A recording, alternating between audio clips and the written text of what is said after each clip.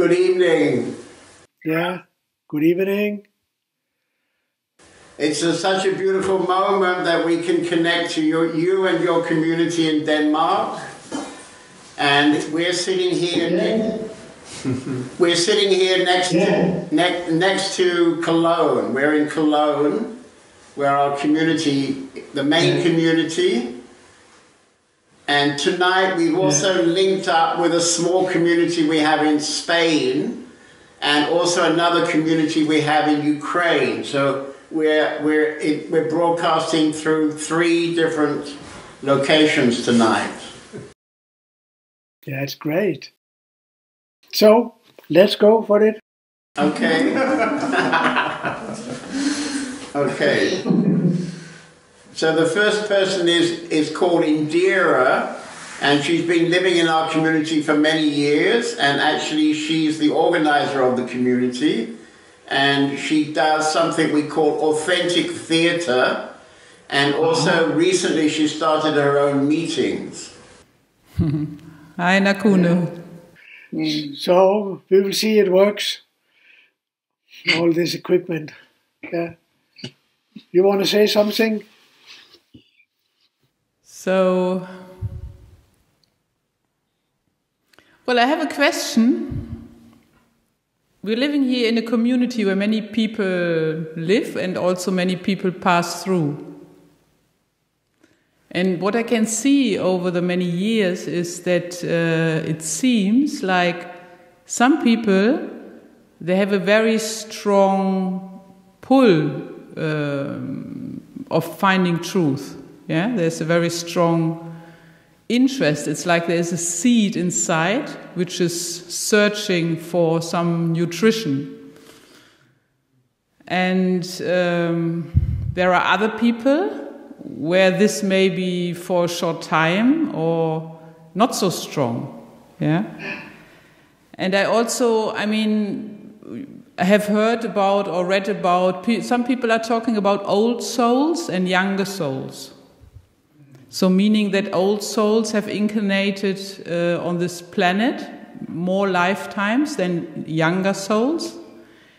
And therefore, it is said that, um, yeah, the, the, the, the, longing yeah, to come home again or the longing for truth, the pull to truth is much stronger for older souls, maybe because they don't get so in, um, distracted by the. Um, mundane things of the life here. So, could you say something about this? I cannot talk with authority about past life stuff in old soul or young soul. Um, I don't really know, but it it seems like there's something like that. But the most important is the longing, whether they are old soul or young soul the longing must be total. Otherwise, unless you are total, it will not happen. You don't wake up. And sometimes it takes a while. You are in the community and you are among people that also are searching and and actually you support each other in the longing, sharing your experiences, and the longing grows and grows. Uh, but the, the longing must be unconditional. Uh, be, otherwise, it doesn't happen. Um, and I know John David will give will agree with me, and uh, we, like like me, we were having a long journey with Osho and Papaji, and and the longing grew bigger and bigger and bigger. Just just before my awakening, I decided I don't want to hear anything about it anymore. it's enough. No more words about it. Now I will just be with the longing. Um, with the, yeah. So, uh, yeah. And uh, for, for, it's so good you are in a community and you can support each other because the society is a collective unconsciousness. The moment you go out, you go out among people that have no idea about what we're talking about. and and they are not in touch with it. They're living in the mind, in language. So it's so important that we gather together in the Sangha. It's called a Sangha, a spiritual family. There are three important things the Sangha, the Dharma, and the Buddha. That, that is Gautama the Buddha has said that, and it's totally truth. There has to be an enlightened one, and there has to be a teaching which is not really a teaching, and the family. So uh, you're very lucky you are in a community and you can share with each other, and you are somehow nourishing this energy all the time. So, uh, and uh, that you have an awakened person there, it's a perfect mirror. Mm. Satsang or uh, this gathering with an enlightened person is an opportunity to to be mirrored. You are sitting there and listening and feeling the, the teacher, and maybe there's a moment where you feel the teacher totally and you accept that it is yourself, that you take the projection back.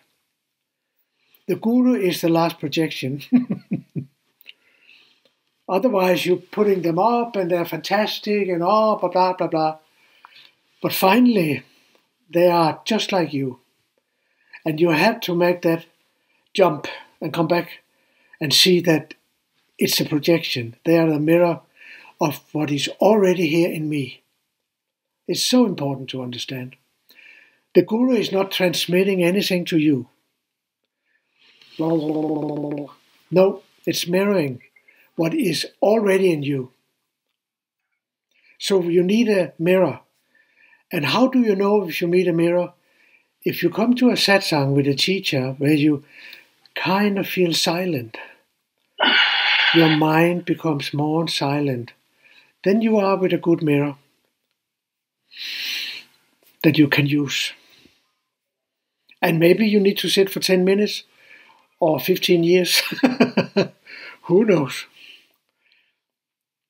But uh, the guru is the last mirror. Because if you wake up, you also get finished with all kind of projections. They will go also if you really wake up. Because when you really wake up, you don't see any other. There's not you and there's no not another, really. So there's nobody to project on.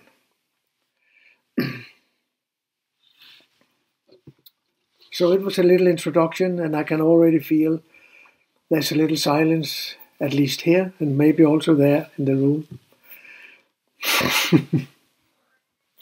so, anything you want to have me to talk about, or?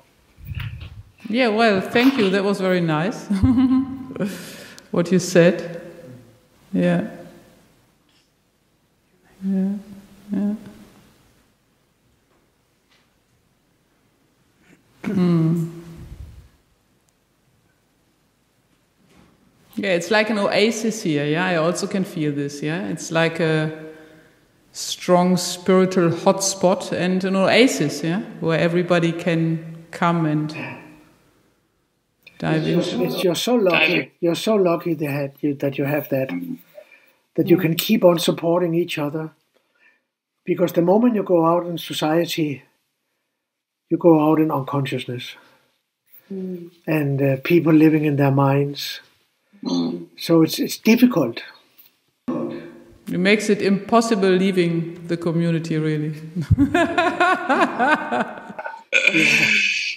yeah. yeah, you're lucky. You, how many are you living there? Well, we are about 20 people. 20 people, okay, yeah. Mm.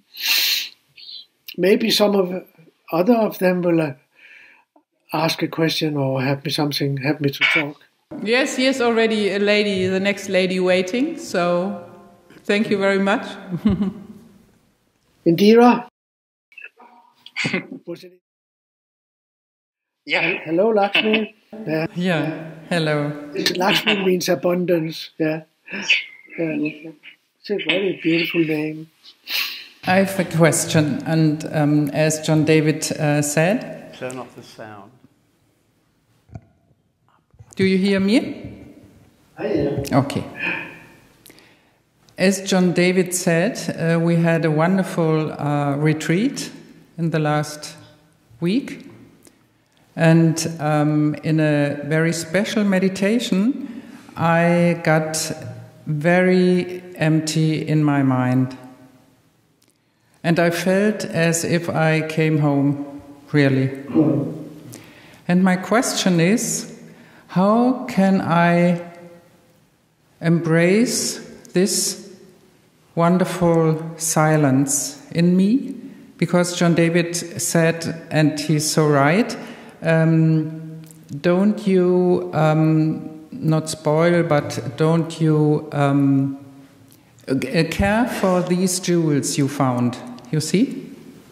And my question is how can I um, hold these, this wonderful silence and uh, not spoil it? Or what can I let go? Okay. In the beginning, it comes as a glimpse, spontaneous.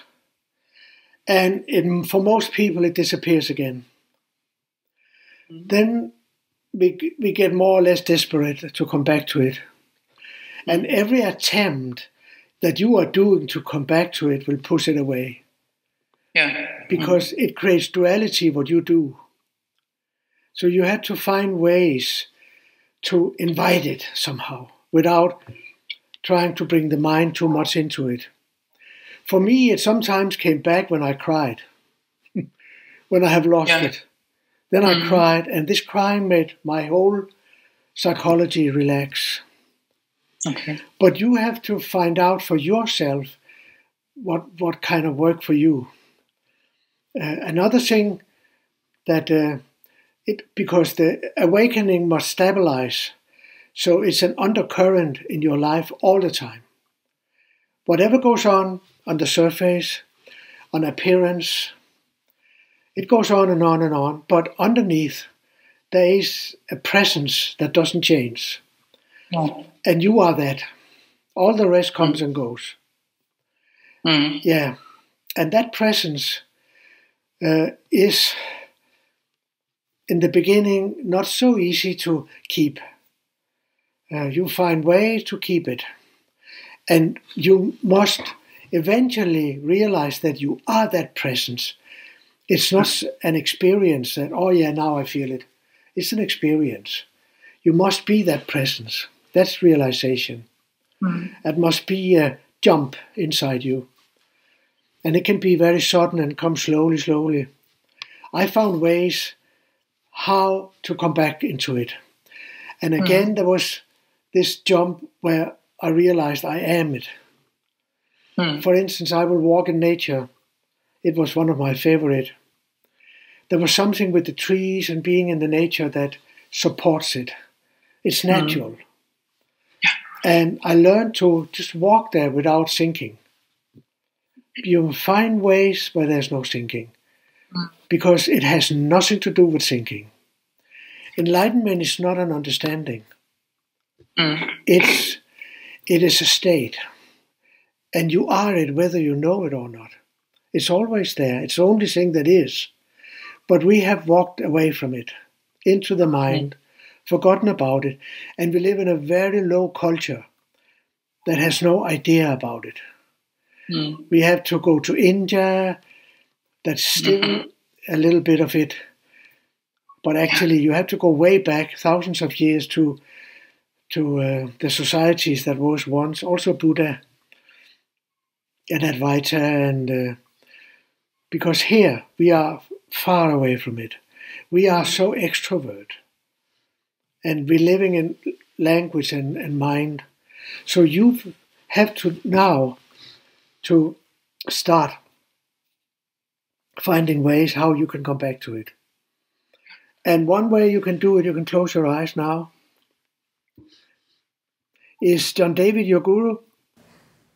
Yeah. Yeah, close your eyes and go into this place as much as you can that is silent. that is beingness.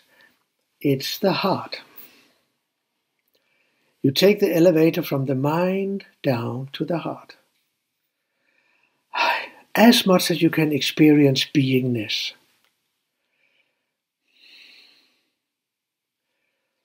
And then you invite to meet the Guru in the same place in the Guru.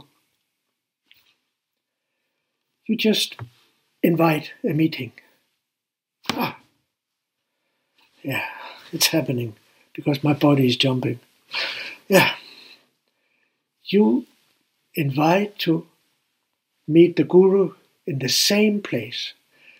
And maybe just for a short moment, there's no duality. You're one. yeah, that's right.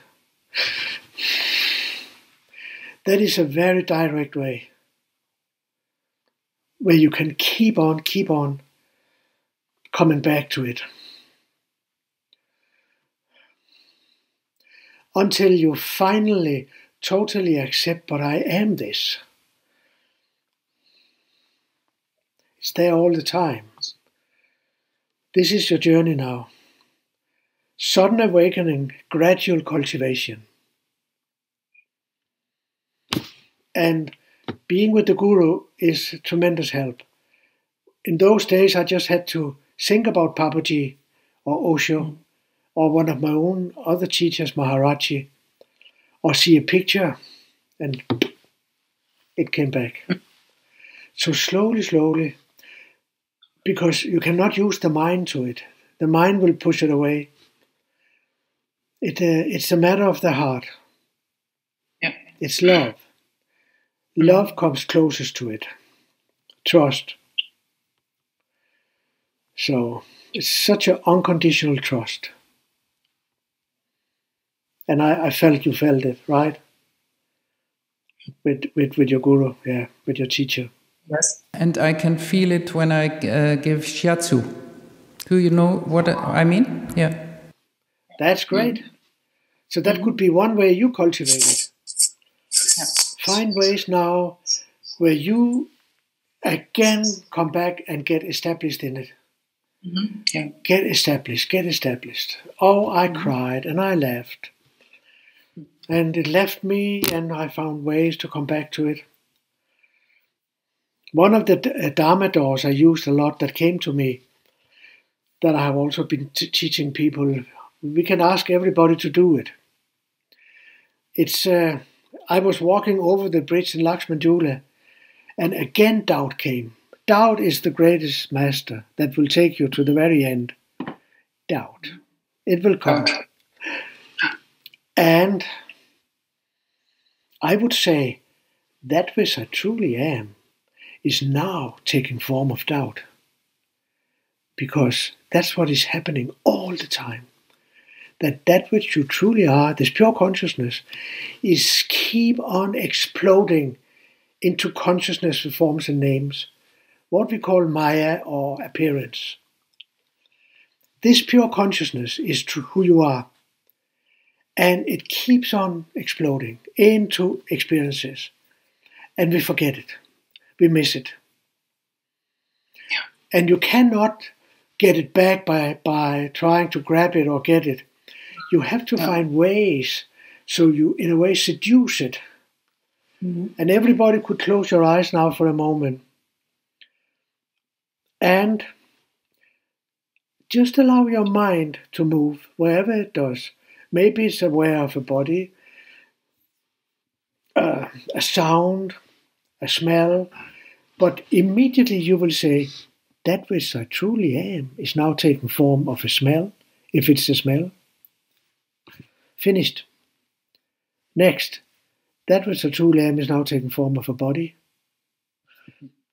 Yeah. You got it immediately. You got it. That which I truly am is now taking form of a feeling. Finished. That's that's that is the journey of life. It goes on like that. It's us, not the ego, but the tr- the truth that we are, the pure consciousness that creates all this. All this. We are all the nature of the mind, the pure consciousness. And it keeps on exploding into experiences. On and on. Work a little bit with it. It is a Dharma door, I call it. A door into the Dharma, into the truth that cannot be said. The truth cannot be said. You can be it, you are it, but you cannot say it. Because it's the fourth dimension. It's not in this dimension. It explodes into time and space, but it is not. That's why when you wake up, no, you, you don't get you don't be, become eternal. You don't become eternal. You go beyond all this. You're totally beyond, and has always been. But the body that is experienced, that comes, you get so identified with this body and so lost. So find ways now where you can cultivate it. And the guru is always a great help. Mm. Because it's it's there. Yeah. Good to meet you. Yeah. Nice to meet you. And I could feel, yeah, you're coming with me. Yeah. Yeah. Thank you very much for your answer.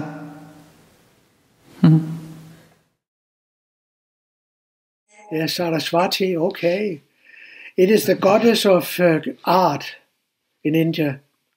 Yeah, of course, you play the cello, so you are, you had to be called Saraswati. There are three goddesses Saraswati, Lakshmi, and Kali. Yeah. What do you want to share or talk about? I have a question. What came up? Um, how can I see that I'm the ocean? yeah. You will not see it, you will become it. You will. Uh, if I go down to the ocean here, 500 meters from here, 400 meters, I'm living very close to the ocean. If I go down to the ocean and just look without focusing and without thinking, then suddenly I am the ocean. But it is thinking that prevents you from have this experience. But it's a good idea to go to a real ocean and, and play a little bit with it. Go mm-hmm. there and just look without focusing. And suddenly you are the ocean. Yeah. Oh, I'm jumping when when we have a connection. so, and it's great you start when you're young, and uh, yeah, it is the biggest thing that that is that we can experience the ocean, um, the ocean of consciousness, the oceans of pure silence. There is a saying in one of the old sutras that the great way is not difficult for those who have no preferences. The great way, enlightenment, is not difficult for those who have no preferences. It means for those who have no desires, no judgments. No, I want this, I don't want that. These are preferences. And those you had to start becoming aware of. You cannot fight with them, but you have to see that they are empty. That they are actually impermanent. They are Maya. That's how we wake up. I had a woman yesterday here in a satsang that um, from Russia actually, to said that uh, that when she meet a man that she's really attracted to, she freeze, she becomes frozen. And I said to her, "Okay, close your eyes and relax into this frozenness." Until she met me, she has been fighting with the frozenness, trying to get rid of it it won't work. You cannot get rid of something that doesn't really exist. This frozenness doesn't really exist, it's an appearance. And if you really feel it, it disappears.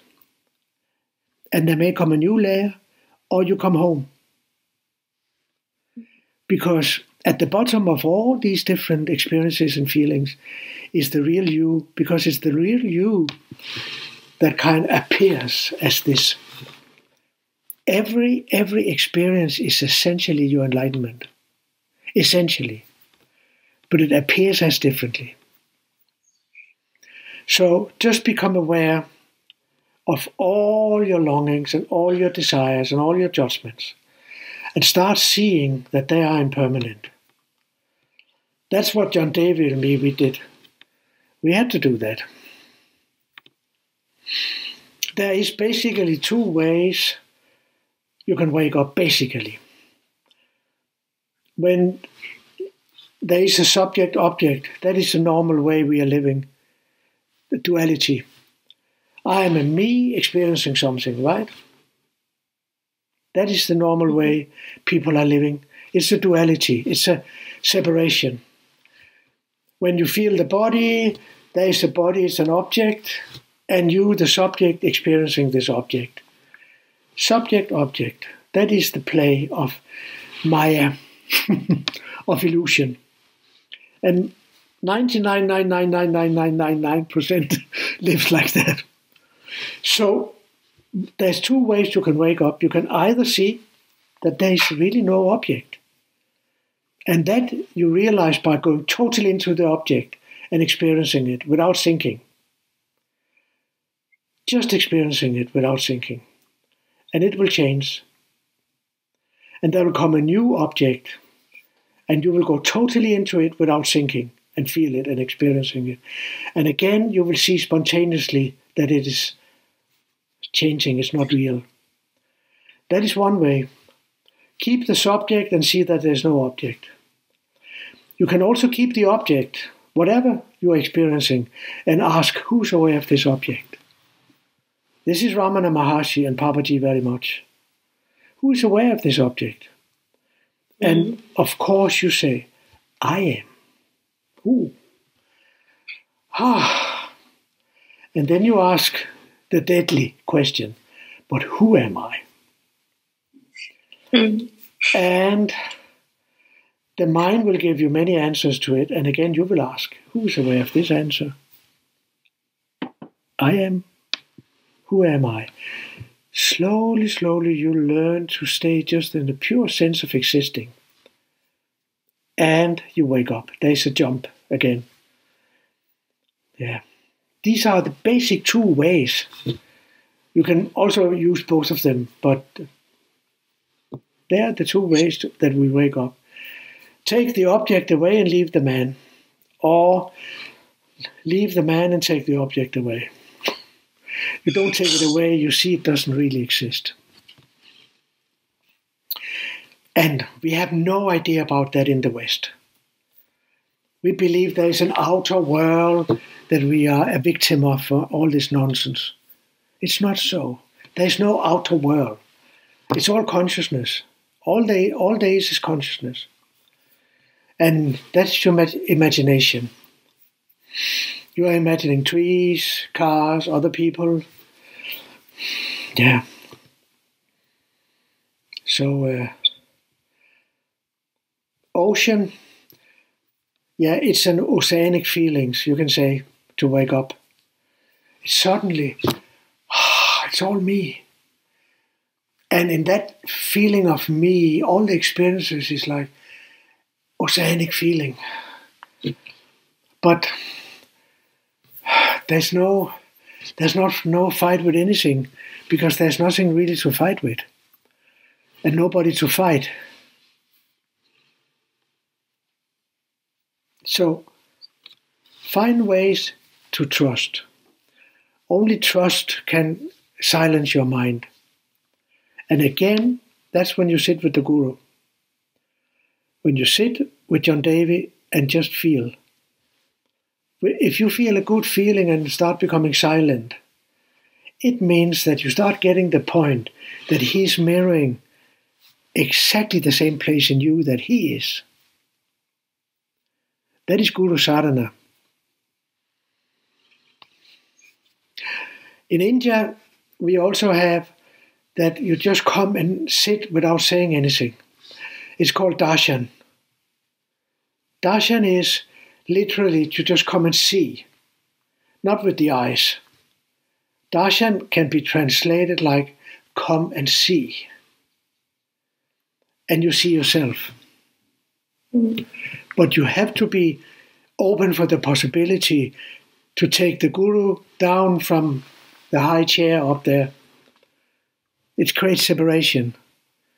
That was the beauty with Papaji. He was so ordinary.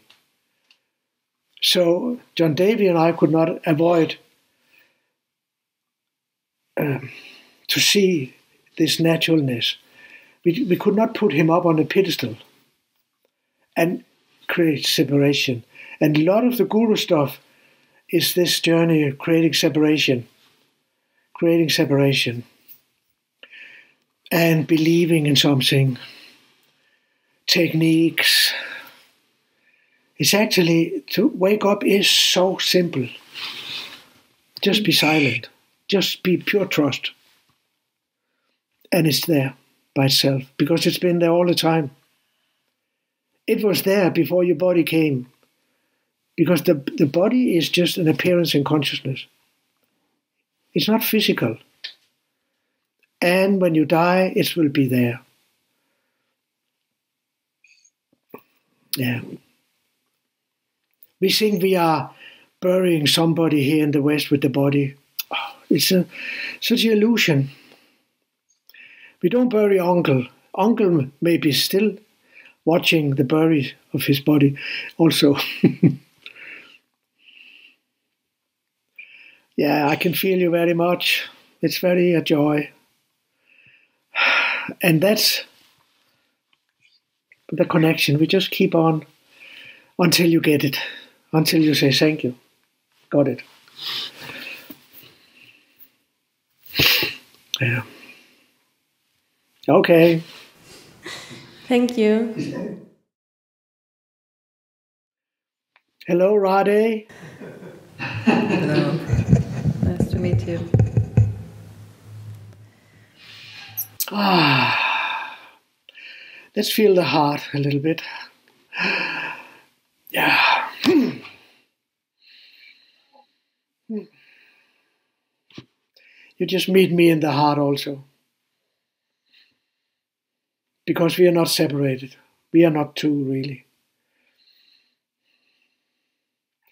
We are one reality that appears as two people, two bodies. But they, these bodies are not real. They are appearance.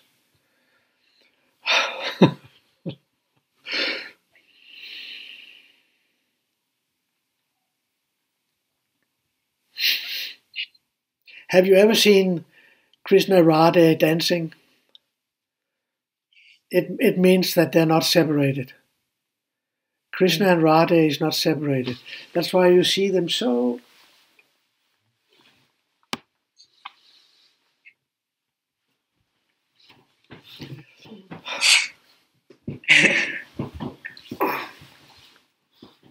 I love, I love this.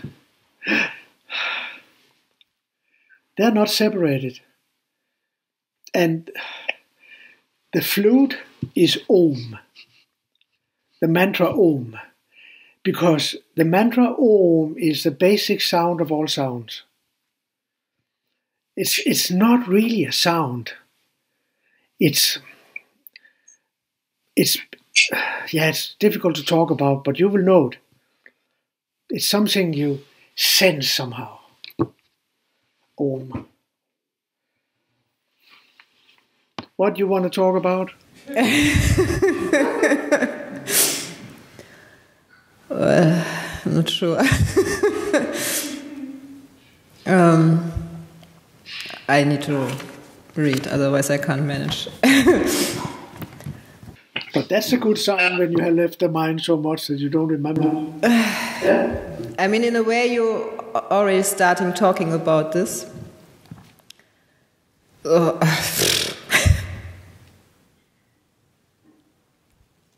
Yeah, that's Radhe. Eh?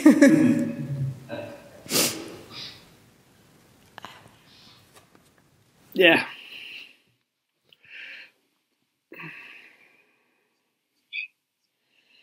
No question.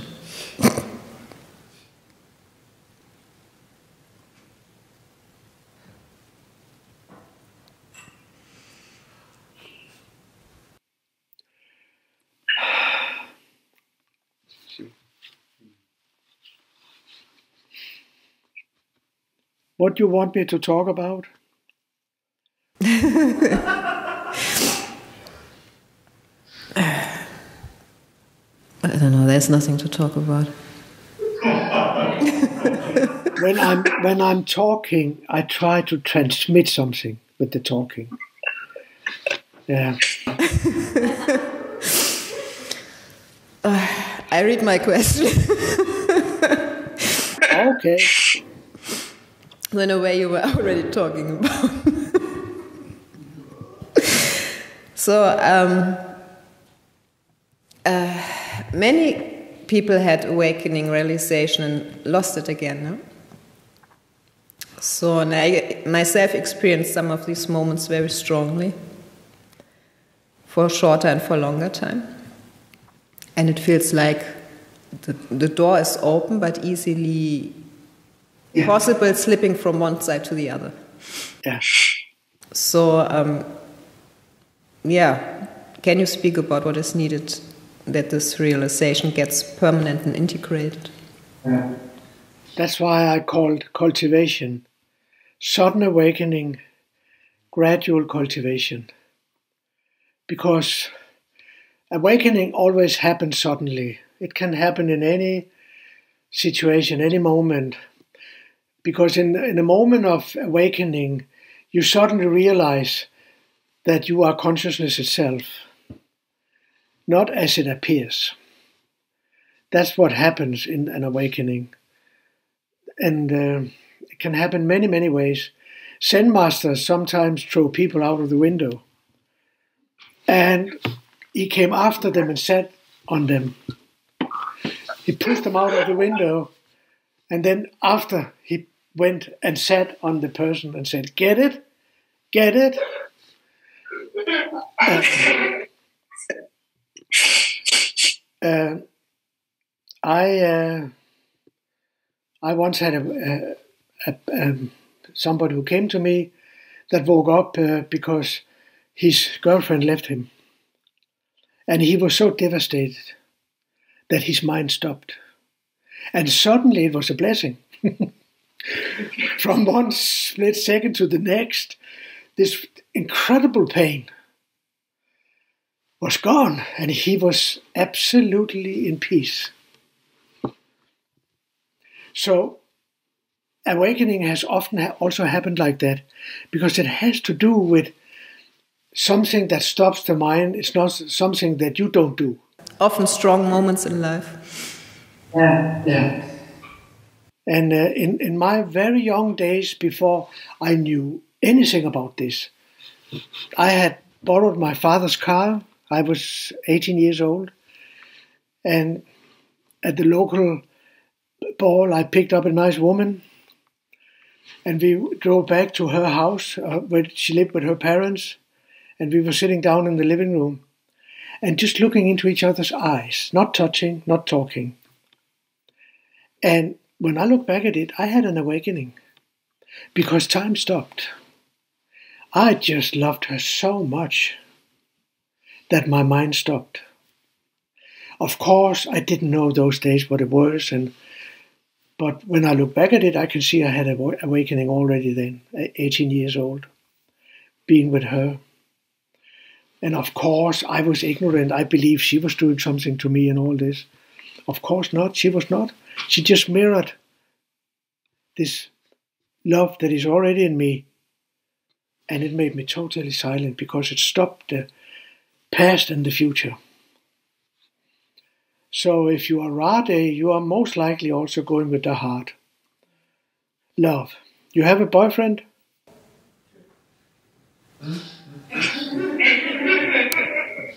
You don't know? I don't have a Krishna. I don't have Krishna. Oh, okay. so, again, find your own ways to come into silence without you are doing it. You cannot be desireless as an effort. You can be desireless by living your desires and see through them. Nobody gets enlightened if they're not living totally. Because desires will hang on and want to be experienced. So you have to go into your desires and see they are empty. That was Osho's fantastic teaching that lived totally with awareness. Because then he knew that we will see through all these desires. And John David also knows. We did all kind of groups where we lived all the desires, whatever they were. I had making love to many women in the group, and uh, whatever it was the desire. But of course, we forgot the awareness most of the time.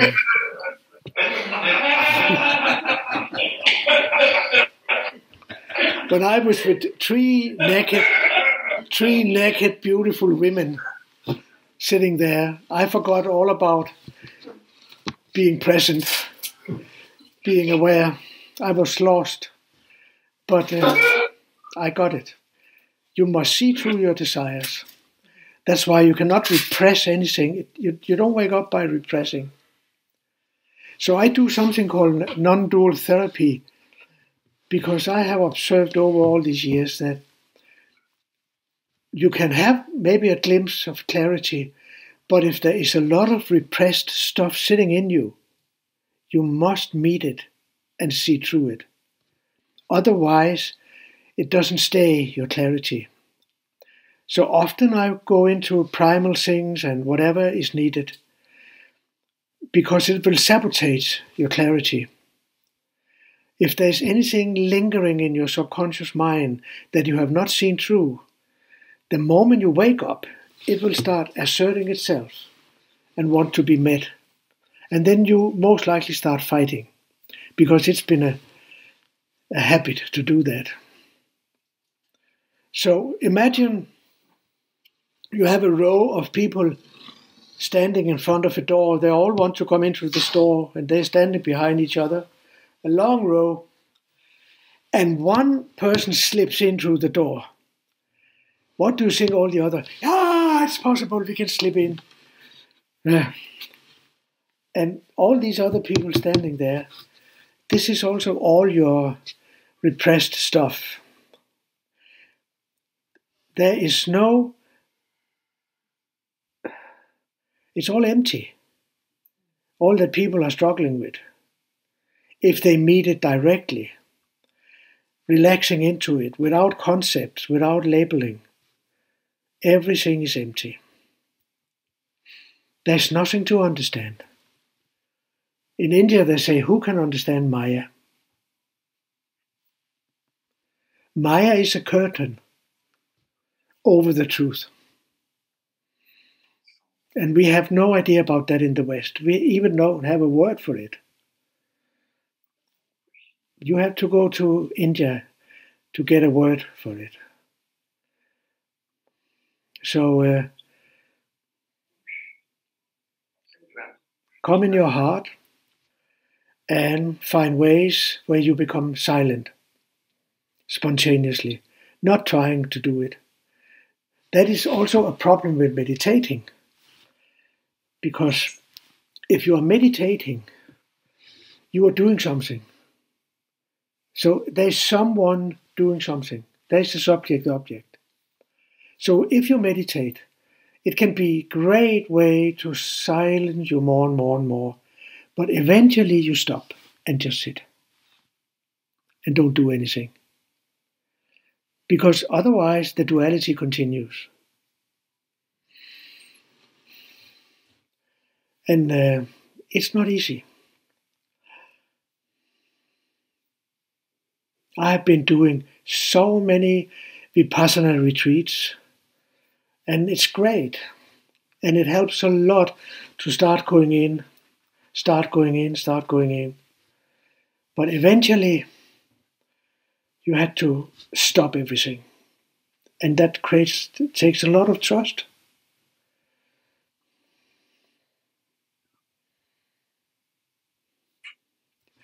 Okay, let us meet. Keep your eyes closed and go into this place in your heart that is silent, that is being. So we, love, we make Krishna Radhe now. I am Krishna, you Radhe. And from this place in your heart of being, you invite a meeting with me, with the same place in me.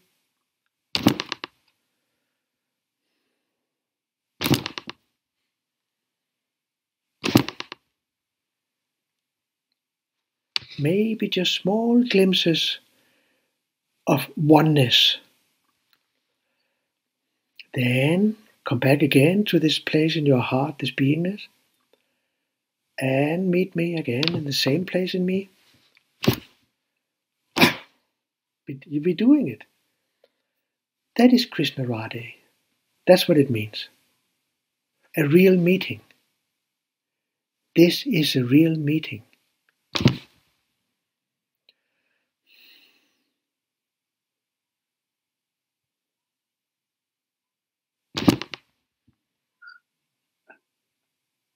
Yeah, you're coming very strong. You're coming very strong.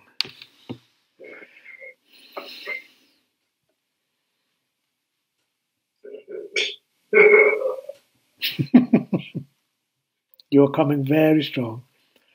Now you realize what it means, Krishna Radhe. It's a real meeting. And I'm, jump- I'm jumping here because I can feel it. Yeah.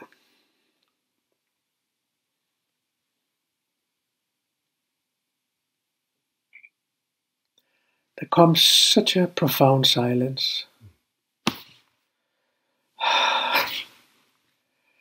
And Radhe, this kind of meeting is what we are looking for in our love relationships. But people don't really know. They are talking and they are touching, but this is not meeting. Talking and touching is not meeting. This is meeting.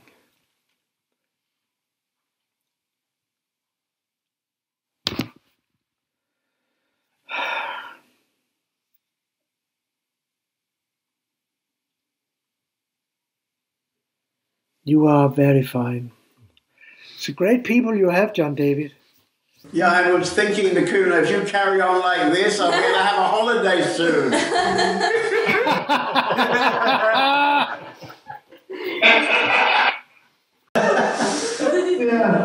What to do? Radhe, thank you. Thank you.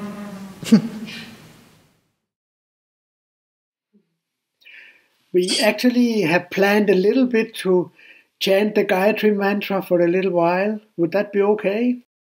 yes, yes. You want to do it now? Yeah, we will.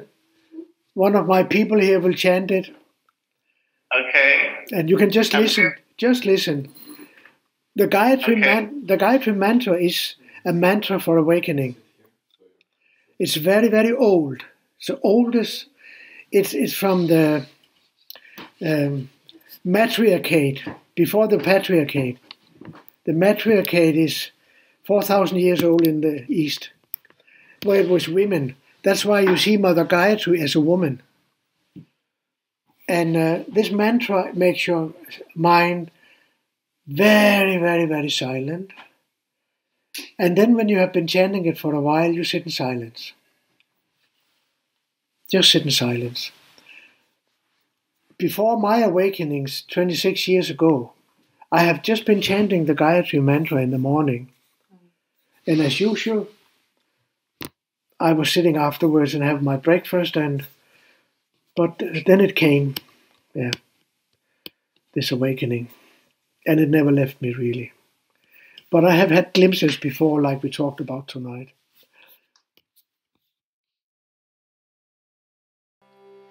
Oh. Om Bhurvasva Tatsaviturvarenyam Bhago Devashadimahi Diyo Yona Prachodayat Om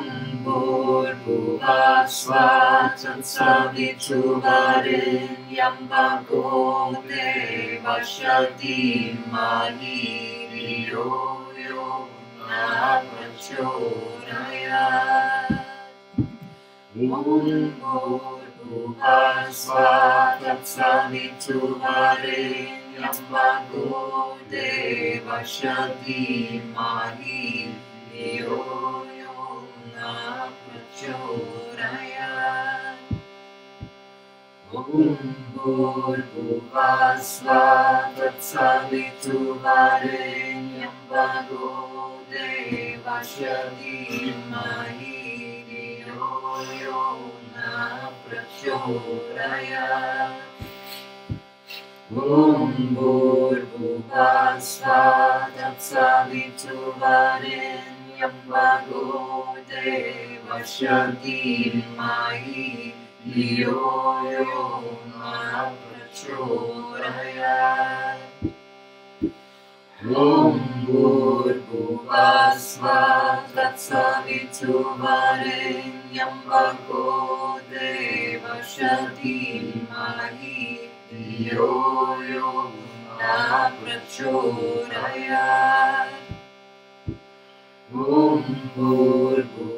Yona Prachodayat Om Bhurvasva Tatsaviturvarenyam Bhago Devashadimahi Diyo Yona Prachodayat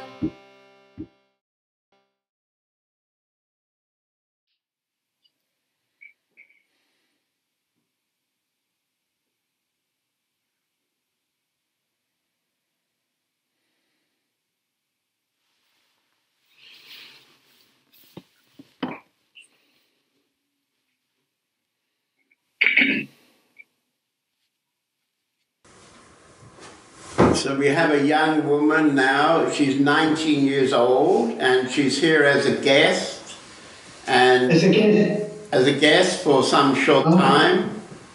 And as you see, she well, you will see she has a she has an interesting question. Mm-hmm. What is your name? Lily. But I thought I already changed my question. But when John David said it's an interesting question, then I can also ask this and maybe then afterwards the question which came out again or right now. Um, so my question was: Do you see yourself as a teacher, and how you deal? And if yes, how do you how do you deal with if your student starts depending on you? Oh, yeah, I definitely see myself as a teacher. It was not something I chose, it just happened. I was a therapist to begin with. I've been a therapist for 47 years. And um, I am also having a bachelor in psychology and all this, a master in philosophy. and um, But in the beginning, I worked with therapy. And uh, I liked it. And uh, then I came to Pune. And I did a lot of therapist trainings there. Uh, and when I came back from Pune, I started doing even more therapy. And I could live from it. I also became a Pune therapist. And uh, so uh, that's how my life was unfolding. And um, then what happened was that this awakening came, and my way of teaching changed. It just changed because I changed, and people that came to me was different. Um, so it was never really a choice. It was just my life unfolding. And of course, when I when I became a Pune teacher, it was very difficult for me because I had so much inferiority. and how could I ever be a teacher like these incredible teachers there? To re uh, and what is the theater and their names? That was a. Uh, and then I remember Osho one morning talked about that the therapists are suffering from the same problem as the clients. and that was a great help for me. Uh, that um, I could be allowed to have all my problems and I still work with people. so uh, I, I somehow never chose it. And if you look back at your life, really just have have there been have you been choosing anything? Or has it just happened? Yeah. Yes, it's choosing to me. Life is a conspiracy. This conspiracy has brought you to John David and the community now. Lucky you, because there is no personal doership really. We believe so, but there is not. There's only God, there's only this pure consciousness. So, life is a conspiracy. we believe that we are choosing things, but it's not so. And it's tremendous to realize one that that there never was anybody choosing anything here. It's uh, no personal doership, because in that moment there is a spontaneous forgivingness of anybody you have met in your life. Because at the same moment, you will realize, but they also did not choose to do what they did. And there is no need to fight with any techniques of of of uh, forgivingness. It's one split second. When you realize that you are not a personal doership, the whole people, all the people you have met, is the same. And there is a spontaneous forgivingness. Totally, without doing anything. It just slips away. All your blame you used to have on your mother, all the blame you had on your father, or whoever, boyfriends, or you will realize, but my God, it was all a conspiracy. I there was no personal doership really existing. That's what you realize when you wake up. And then you go on doing whatever you're doing. But it will be very different, very spontaneous, very free.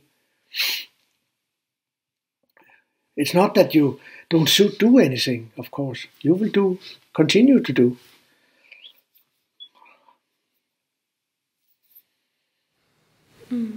Thank you. And can I also ask the question which came up when I was listening to you? Like there was another one. Um, it was like when I feel pain inside me, um, I sometimes find it hard to um, keep the balance of not repeating an old story and also letting free the oppressed feelings.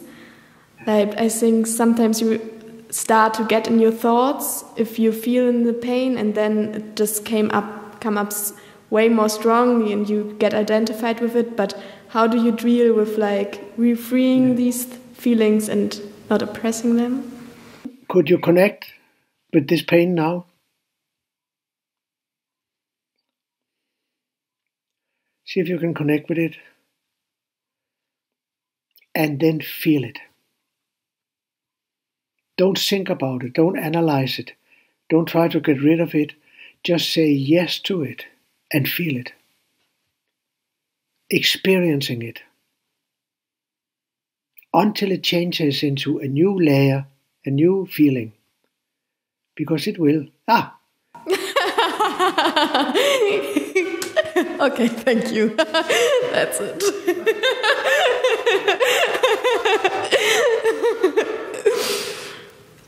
That was great. wow. Feel this feel this space now you are in. Feel it. Close your eyes. Yeah, feel it. You feel good. Or what? What make you laugh? What made you laugh? What kind of feeling came? Um, like that I gave myself the space and then there was the freedom inspi- inside. So this was like, Yeah, keep your eyes closed. and feel feel this freedom. And then say in your own language, in German, I am freedom itself. I'm not a person that is free. I'm freedom. Say that and feel it. ich bin Freiheit. Ich bin Freiheit. Mhm.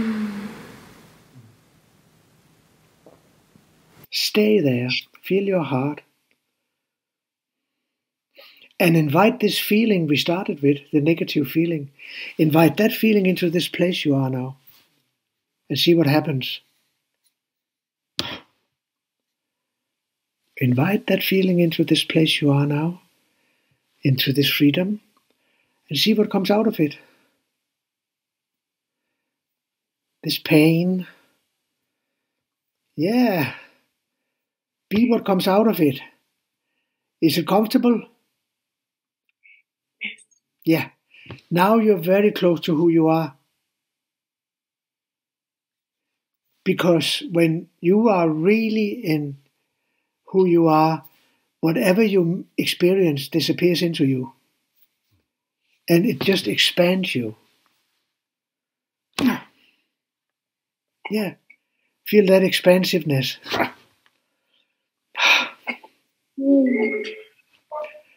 This is a very direct way to have a satori or a awakening. This is one of my most used way to work with people. Feel the impermanence of this experience that you're struggling with. And go to the bottom of it and you're free. There's silence. Because all experiences are essentially your enlightenment. There is nothing else but the truth. All the rest is appearance and is unreal. The whole world and everything you are sensing is, is unreal.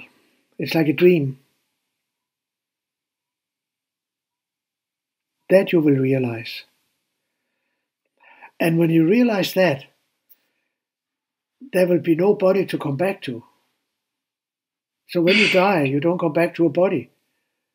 But there is no body to come back to. You have seen through all of it. That's why Ramana, on the question he was asked when he was dying, Where are you going, Ramana? And he said, Where can I go? Cannot go anywhere.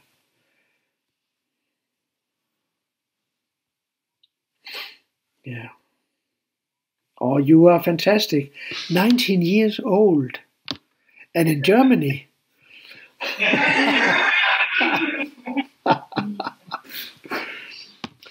many, many sannyasins came from Germany. And uh, John David and I saw that. Scheiße, Scheiße, Scheiße.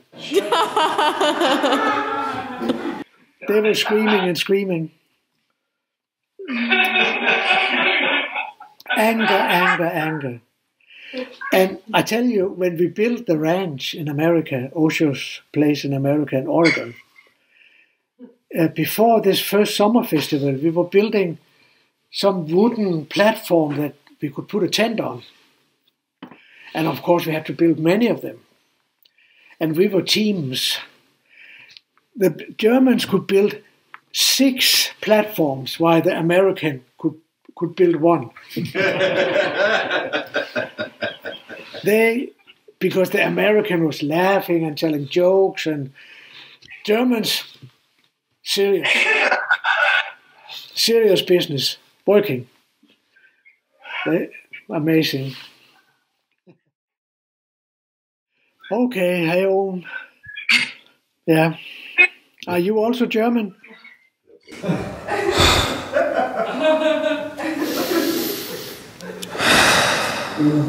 yeah, just take a little while and allow the body to ah, digest or relax, relax. Ah.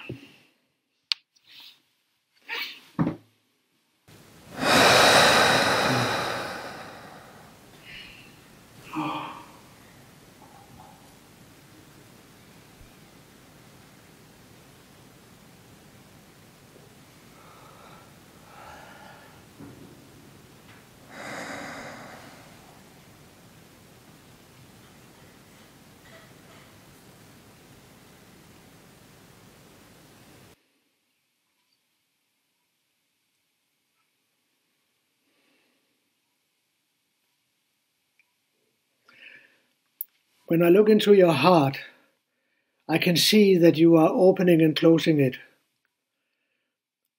The heart cannot be hurt. Nothing can hurt the heart. There's no need to ever close it because it cannot be hurt. So open it unconditional. Nothing can hurt your heart because essentially the heart is not seeing any separation to anything. The heart say, "Oh, this is also myself." So there's no need to protect the heart, like we learn in our culture. Or oh, you must protect the heart, and blah blah blah. This is nonsense. Nothing can hurt it. Ah. And I can see a little bit in your heart the movement of opening and closing it. Is it true? Is it? Yes. You can recognize what I say? Yes. Yeah.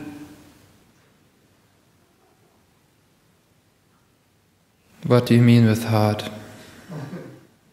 Yeah, that is true. It's not really the physical heart.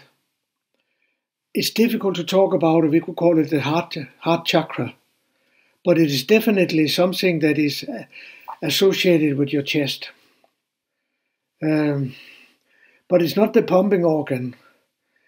So Ramana called the spiritual heart sitting on the left side as a way to avoid this that people identified with the physical heart. But in my work over the years, I can see that people start with the physical heart, the pumping organ. Then they start, if they are daring enough, trusting enough, they start coming into sorrow and love. And then some goes even deeper into the space of pure awareness. That is the nature of the heart. The heart is non dual, it's pure awareness. When we wake up, we wake up in the heart.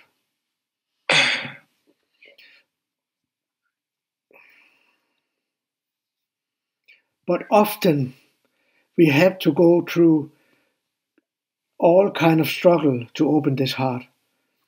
I had so many girlfriends that killed me because I was very, very, very stubborn and very closed.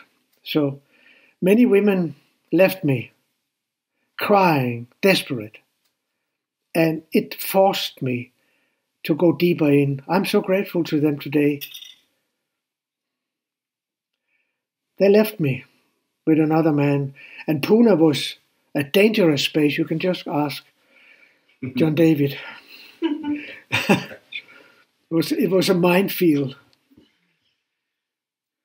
Yeah. So you get involved with love, love affairs, also with a woman.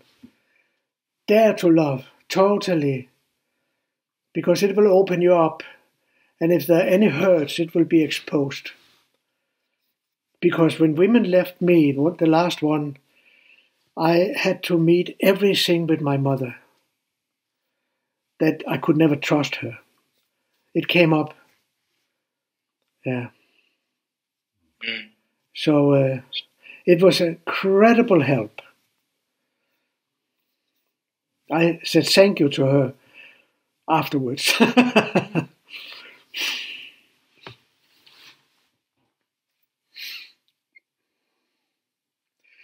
Life is a conspiracy for awakening. And when I had awakened, Then she came back and wanted me.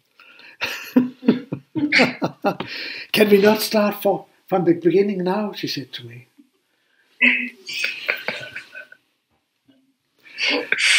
Yeah. What else you want to say?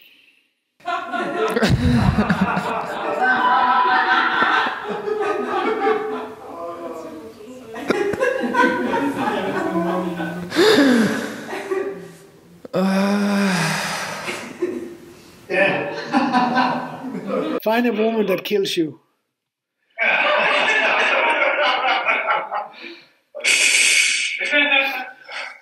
that you cannot go get away. That you are murdered on the spot.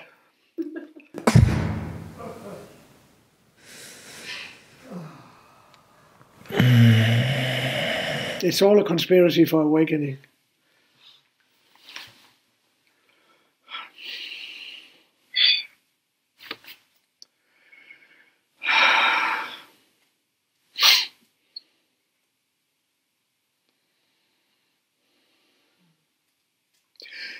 Papaji used to say that uh, many of us has been sadhus in past lives, and sadhus is of course avoiding anything that has to do with sex or anger or these things. So we had to be reborn in the West to encounter it, and somehow could be his true, because he met also a woman when he was up in the 50s. He, he met Mira, she was only 18 years old. Mira came to Rishikesh and said to the taxi driver, Take me to the place where the gurus are. 18 years old. And the taxi driver drove her to Rishikesh. And she went on to a little island in Ganges and said, I'm going to sit here until my master comes. And sooner or later, Papaji turned up and looked at her and said, Let awareness embrace awareness. Let awareness embrace awareness. And they got married and had a children, had a, had a child.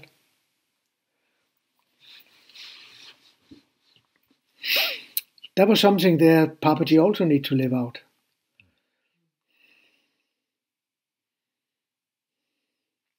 So, um,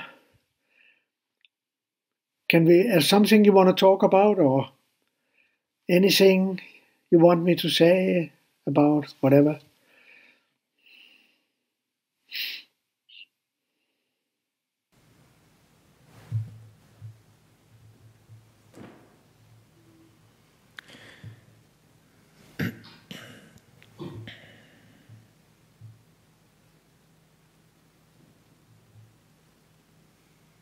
Om Shanti. shanti, Shanti. Silence, silence. Just say something, whatever could be, we can use it. I don't know. I love you. I love you. That's all I can say. I Who I love. I. Very, very great. Keep your eyes closed and feel that I am a mirror for your love it arising in you.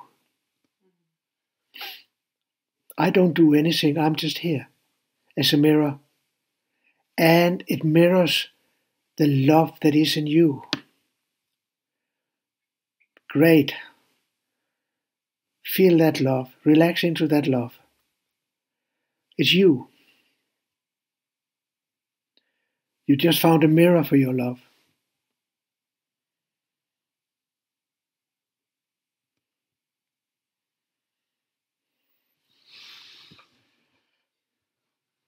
Sooner or later, if you relax into this love, it will be silence. Love is very close to the source, but it's not the source. Some people say that the source is love. It's not true.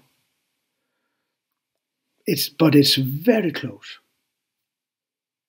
Real unconditional love is very close but it's still in the realm of experience. So you go a little deeper into the silence. Yeah.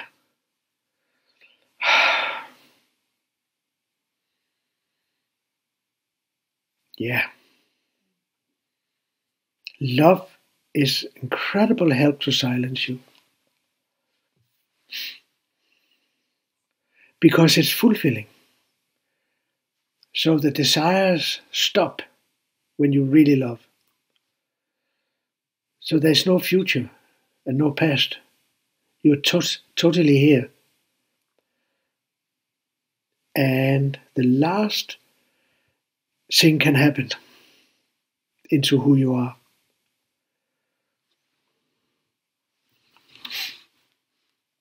This is my understanding. I know Rumi talk about love, uh, but uh, love is not the source. The source is not love. It's close, close, and maybe he he talks about it for a reason. So, because to talk about source is very difficult. So, we will lose people. They will not come with us. They cannot understand.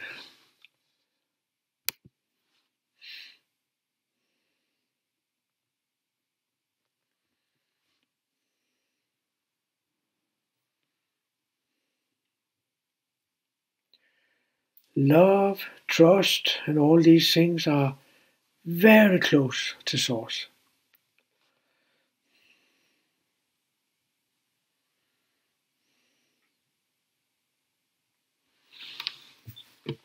Can I let you go?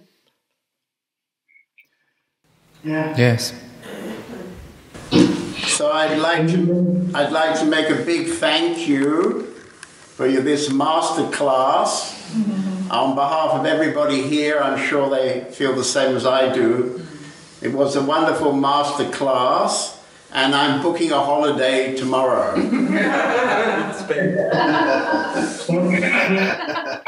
What are you talking about?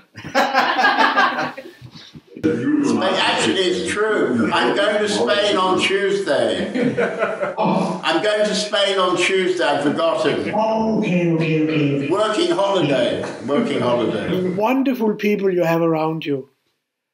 Yes. So beautiful. It was a honor to be here, and I enjoyed it very much. Thank you very much to inviting me.